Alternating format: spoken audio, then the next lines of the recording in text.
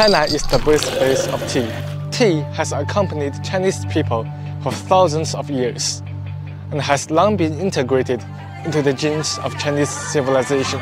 Nowadays, innovative tea making skills and new ways of drinking tea are popular among Chinese young people, injecting new vitality into the ancient tea culture.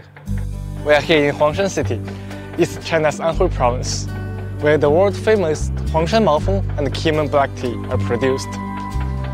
Sun Wangge behind me is a microscope of rejuvenation of the traditional Chinese tea arts. 年轻人的话，他会诶，你们这里还有这个可以点茶的，这个在呃什么什么电视剧里面也会有体现的。对，他在这这里亲手的，能够感受得到。 现在呃年轻人生活节奏都会比较快，然后呢来我们这种亲近自然的地方爬爬山，嗯品品茶，亲近身心，体验一下这种中式的茶文化。In recent years.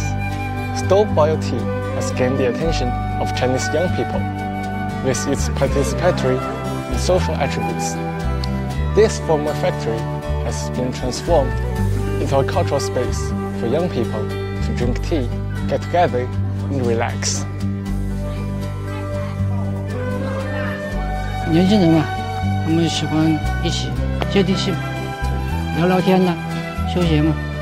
呃，它有红茶、绿茶。啊，安吉白茶，还有一种水果茶、花茶，它配在水果，然后各类的干果小吃。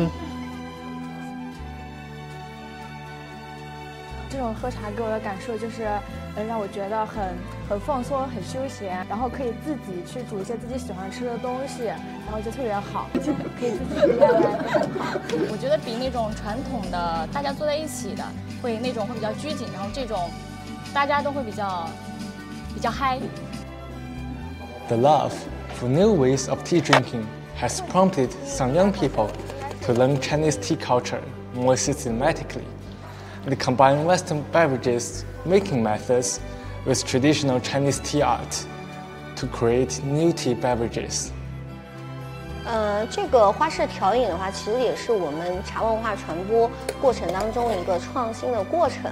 啊，它是利用我们茶的纯茶的这个萃取的这个茶的方式，然后添加不同的风味。因为其实茶，中国的茶有将近千种以上， 那它每个产区、每个地域，呃，都有不同的风味。就像我们中国的菜一样，中国的茶呢，可以通过绿茶加上我们的这个呃当地的风味，然后红茶加上我们的一些酒。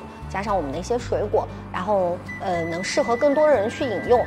嗯，它从我们最初的这种唐代的这个煮茶，到我们宋代的点茶，到我们现在的清饮，以及到我们现在年轻人每位年轻人都向往的这个花式饮茶。那其实呢，呃，最终它带给我们的是什么呢？是一个健康生活的方式。After more than a thousand years of inheritance, a small tea leaf glows with new vitality. Under the improvement of generations.